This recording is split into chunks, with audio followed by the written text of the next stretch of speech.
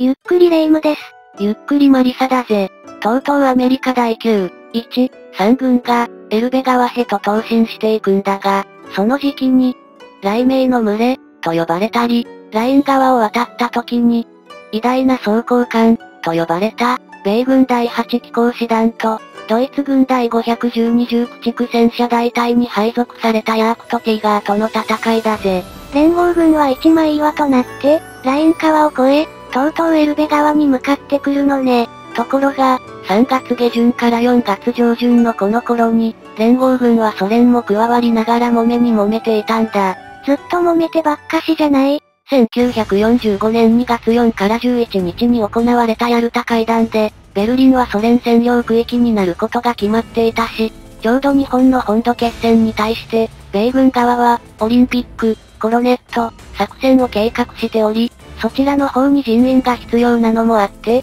アイゼンハワーはブラッドレーとも話し合い、米軍が多大な損害を出してまでベルリンを陥落しに行く必要はないと考え、スターリンと今後の戦略についての意見交換をしたんだ。どんな感じだったの？連合軍はエルベ川まで行き、そこからベルリンには行かずに、ドレスデンに向かって東進をし、ソ連と合流し、ドイツ軍を南北で分断すると、スターリンはどんな感じだったの？ベルリンの持つ戦略的重要性は喪失しており、ソ連軍もベルリンに対しては第二戦部隊を振り向けることになっている、と、お互いに意見が一致したのね。しかし、チャーチルは、ベルリン陥落の意義は大きく、ただでさえやる他会談で決まった約束を破っているスターリンにベルリンを抑えさせては、図に乗せてしまうだけで、今後のことを考えると、今はもう勝つことではなくて、どう勝つかという段階に入ってきていると、なるほど、と言いつつ、アイゼンハワーは密かにベルリンを取るつもりではないかとも疑ったりしていたんだ。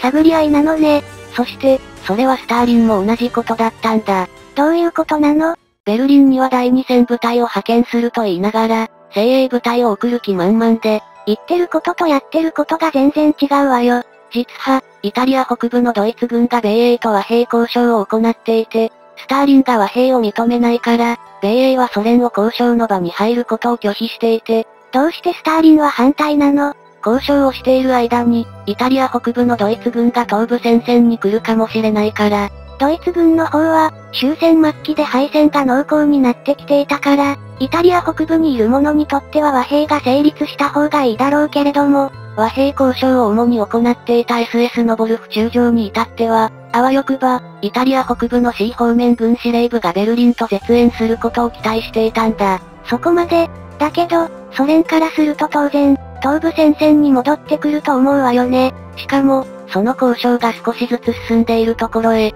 SS 長官のヒムラーが、交渉の窓口を維持したままでのストップをかけてきたんだ。どういう意図があったのかしら米英軍を油断させて、攻勢を鈍化させる効果を狙っているのと、スターリンに対して、米英側がドイツと組んでソ連の敵に回るかもしれないと思わせることによって、米英とソ連の間に亀裂を生じさせようとしていたんだ。そんなにうまくいくかしら実際、イタリア北部での交渉の場へのソ連の介入は拒否されているし、ここに来て、なんだか真実味を帯びてくるわね。実際スターリンは、英米に嘘をついてベルリンに精鋭部隊を送る気満々だし、まんまとハマったのね。米英とドイツ軍が組む前に、何としてもベルリンを取るつもりでいたんだ。でも、結局ドイツが攻められることは変わりないのね。そんな中、4月1日には、ルール地方が包囲されてしまって、B 軍集団司令官のモーゼル元帥は脱出の許可をヒトラーに仰いだんだが、拒否され、もし防ぐことができないようならルールの公用施設と炭鉱を全て破壊せよとまで言われて、どうして？資源を連合軍に取られたくなかったんだろうな。でも、敗戦した後にドイツが復興するためには、ルール地帯はどうしても必要だろうと思って、破壊するという命令には背いたんだ。モーゼル元帥も、もう分かっていたのね。パットン中将率いる第3軍の第80師団なんかは、村を占領する際に、降伏勧告文を散布して、どんな内容だったの？指定した時刻までにドイツ軍を退去させた上で、市長が白旗を持って米軍の前線に来いと、ドイツ軍がおめおめと引き下がるのかしら。そして、そうさせるために、時間が迫るごとに戦闘爆撃機が上空を旋回し、徐々に高度を下げ、怖いわね。ついには、急降下と屋根をかすめる低空飛行で持って威嚇してきて、それでうまくいったのこの方法でしばしば目標都市の無血占領に成功したんだ。アメリカ軍側もドイツ軍側も、一般市民を巻き込んだり、無駄な犠牲を払いたくないと考える者もいたってことかもしれないわね。そんな流れの中、第512重駆逐戦車大隊の第1中隊はアルバート、エルンスト中尉が、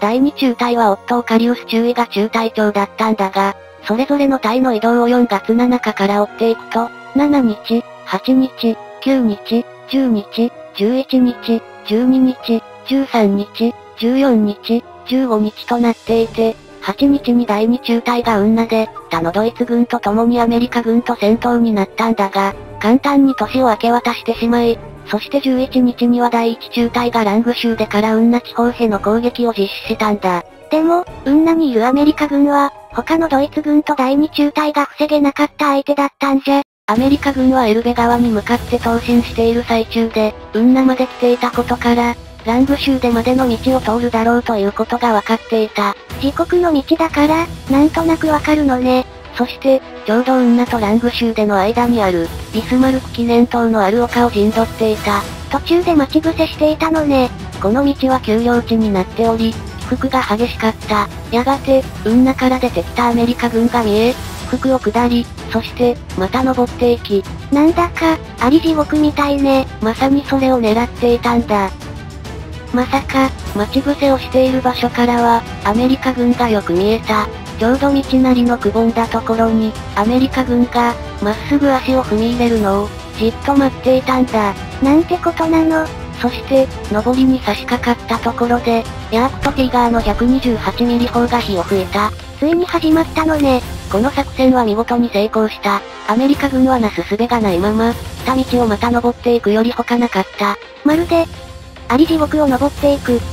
みたいに、そして、その登っている間にも、ドイツ軍の砲弾が容赦なく降りかかり、シャーマン11両と、その他の車両約40両を撃破したんだ。単純なようだけど、自国の地形を分かった上での、見事な作戦だったのね。しかし、アメリカ軍も黙ってはいなかった。まさか、戦闘爆撃機の P47 が3機飛んできて、給料ラインに沿って機銃操作してきたんだ。忘れていたわ。この反撃により、ヤークとティガーと対空車両のハーフトラックをそれぞれ1両ずつ失ったんだが、逆に、対空砲により2機の P47 を撃墜し、両軍とも一旦退却をした。息を飲むような戦闘だったわ。そして、12日にはダーイングホーフェンの飛行場を維持せよとの命令により、シャーマンを一両仕留め、13日には、アメリカ軍によって、面田が陥落し、そして、第1中隊はカールスホフを、第2中隊派ヘーメルを無血開場し、もう、みんなわかってたのよ。15日に、第2中隊のオットーカリウスは、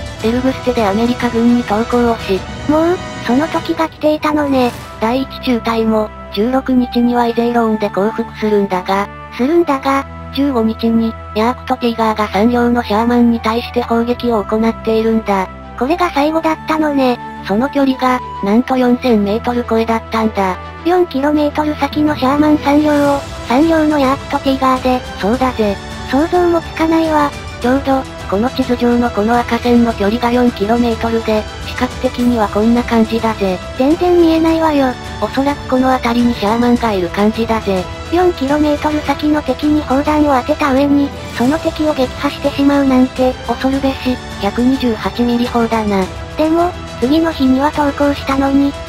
どうして、無血解除したからといって、被害がないわけではないんだ。どういうことなの？占領したアメリカ軍の中にも、愚行を働く者も必ずいて、その数は前線への補給物資が満たされれば満たされるほど増えていったみたいなんだ。そんな、敗戦間近で投降を考えつつも、せっかく無血解除をした年でもそのざまだ。そんな中での、やりきれない思いが、ヤークトティガーの 128mm 砲という形で、悲痛の叫びとなって現れたのかもしれないわね。ヒットラーにも、この思いが届けばいいんだけど、第1中隊が16日に投降をして、ヒットラーが自らの人生に終止符を打つのが30日。やっぱり、わかっていたのね。実は、12日に、アメリカのルーズエルト大統領が亡くなったんだ。何か関係があるの？ヒットラーはわかっていなかったんだ。どういうことなの？かつてドイツは、1756から63年に行われた7年戦争において、オーストリア同盟軍に追い込まれて自決を考えていたフリードリヒ大王が、